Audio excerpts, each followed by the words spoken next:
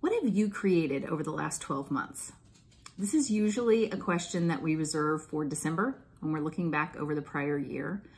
But I was just doing a clarity call with somebody and we take time, I take time to have you look back over the past year and even further back sometimes and take an honest look at why you haven't created what you wanted to create. And then from that place, we do the really fun thing of looking forward and we envision a year from now what your heart's desire truly is. And we look at that from a place of pure potential and possibility.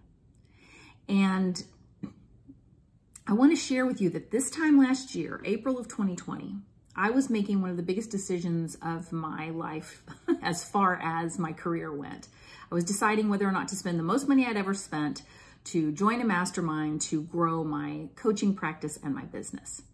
And I knew that I couldn't make the decision, the right decision for me from the person I was then, the Jill of April 2020. I had to make that decision from the person I wanted to be in April of 2021.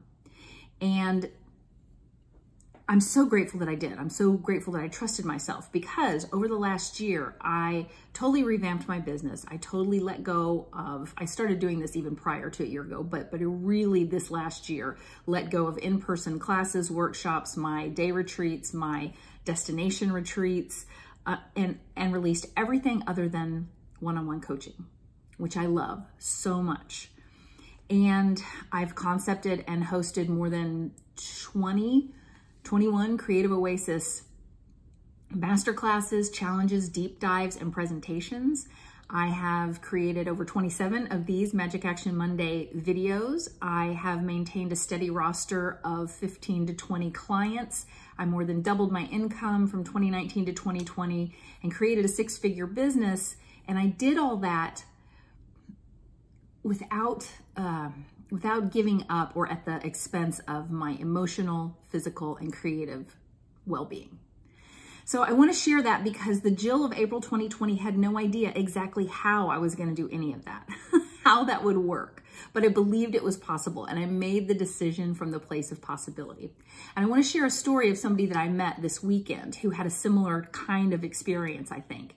I, I was honored to get to hear the artist Kamiko Johnson give her artist talk. She has a, a show up right now at Sonny House Gallery in Carrollton. Um, that is owned by Missy Burton. And at 75 years young, which sounds like a cliche until you meet Kamiko, and then you will know why I say this. She's one of the most pure, energetic spirits I've ever met. She has spent the last year since she was first asked to stay home from COVID painting, pretty much nonstop. And she finds herself a year later, not with one gallery show, but two. she has another show at Pencil, um, Pencil on Paper Gallery that's owned by Dr. Valerie Gillespie and her husband, Emmanuel.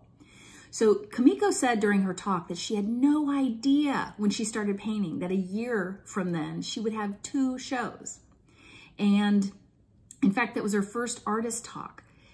And, I'm, and so it really inspired me to ask the question, you know, what have you done? What have you created this year? Have you created the things that you wanted to create? Or have you told yourself you had to wait for a perfect time or another time?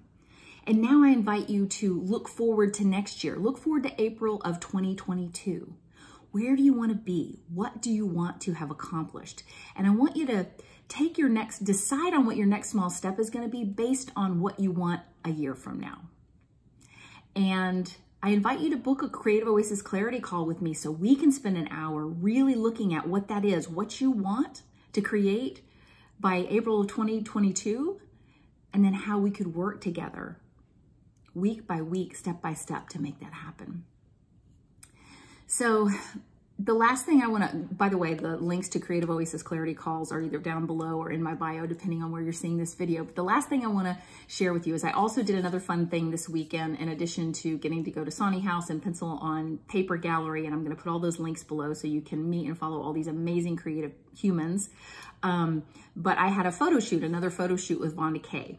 And she and I thought it would be fun because she has been doing my personal brand photography since 2018. She's been photographer, photographing me, taking photos longer than that, but really doing personal brand since then. And so we thought it would be fun to have a conversation about the collaboration of um, her as my photographer, me as her coach. And so we're going to go live this Wednesday on Instagram at 5.30 Central, and you'll want to join us. It's going to be a fun, interesting conversation. You'll get some tips on how to creatively use your photographs for your social media, um, how to take some of the best images, and then also kind of what the creative coaching relationship can look like. So that's it. That's all for today. Thanks for listening. And as always, this is shared with love, light, and the very true belief that you are going to be a happier, healthier, more fulfilled creative human.